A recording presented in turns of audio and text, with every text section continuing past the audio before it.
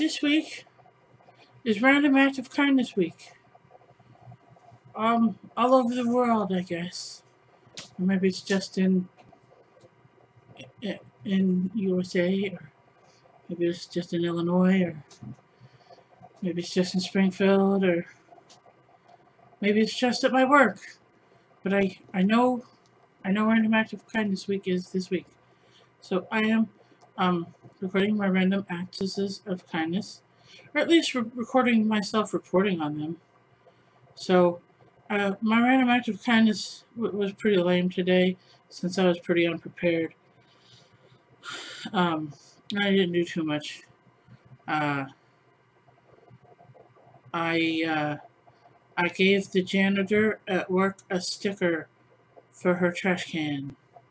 She's pretty cool. Her name is Sue, and she's she's great, uh, custodial engineer. And the sticker was a scratch and sniff um, popcorn sticker. So now the trash can doesn't smell so bad.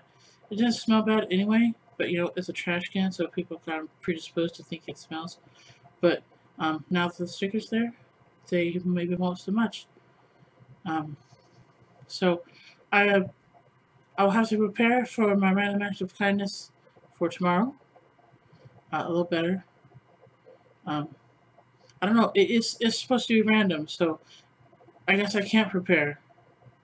Uh, we'll see. We'll see what randomly happens.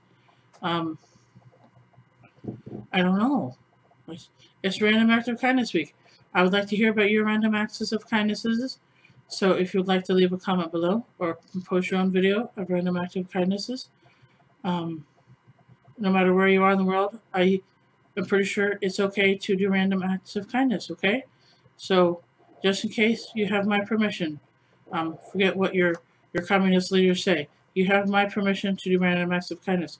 And if your communist leaders have a problem with that, tell them to talk to Mandoo.